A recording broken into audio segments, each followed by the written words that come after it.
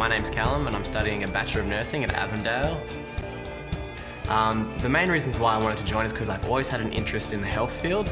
Um, I've had a passion for helping people and one of the benefits with nursing is that you don't have to be tied down to one specific job. You can go into pediatrics, um, emergency, oncology, and, and that's some of the areas I'd really like to go. But ultimately, I'd, I'd really like to go work overseas and do aid work. I'd really like to become a person who helps those who can't help themselves.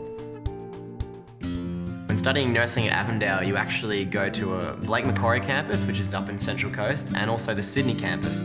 Um, one of the great things about the Lake Macquarie campus is it's got some lush, beautiful bushland around. There's a river if you want to go fishing. There's a pool if you want to go swimming. It's only a 15 minute drive from the, the beach. And then we have the Sydney campus where we have access to one of the finest hospitals in Sydney where we do our clinical training.